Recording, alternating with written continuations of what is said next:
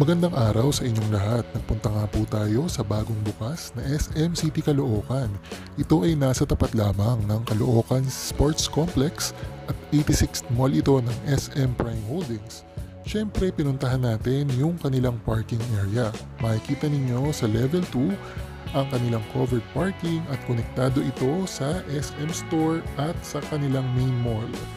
Samantala, makikita rin ninyo na high ceiling ang kanilang parking area kung kaya't maganda ang ventilation at hindi sasayad kung ang sasakyan ninyo ay mataas. Makikita rin ninyo na halos mapupuno na ito kahit kabubukas pa lamang ng SM Caloocan. Sa ngayon ay in-extend nga ng SM Caloocan ang free parking para sa kanilang mga customers pero hindi natin alam kung hanggang kailan ang kanilang offer na free parking. Samantala sa third level naman ay mas maluwag din ang kanilang parking area at uh, meron ding e-vehicle charging station na tayong nakita doon.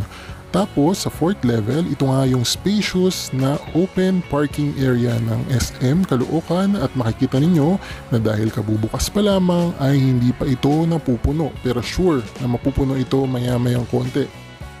Kung gusto rin ninyong mag-sightseeing ay pwede rin ninyong uh, tingnan mula dito sa itaas or sa fourth level yung paligid ng SM City Caloocan.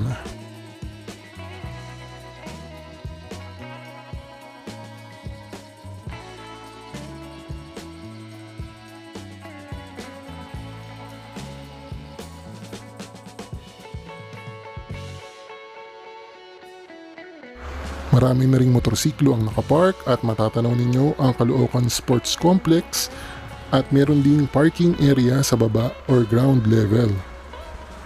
Ayan, makikita ninyo na may mga slots pa naman dahil nga kabubukas pa lang ng SM City Caloocan. Narito naman ang itsura ng kanilang parking building nag implement sila ng one-way na traffic flow. Narito yung uh, parking building ng SM Caloocan.